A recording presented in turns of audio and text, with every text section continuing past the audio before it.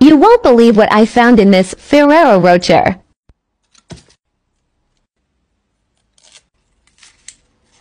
I'm in shock.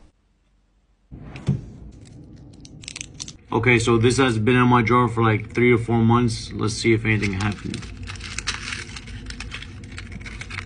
Opening it right now. Why is it turning white? Guys, look. Yo, what is that? Guys, there's something sticking out of it. As you can see, look, the color's even changing. It's turning white.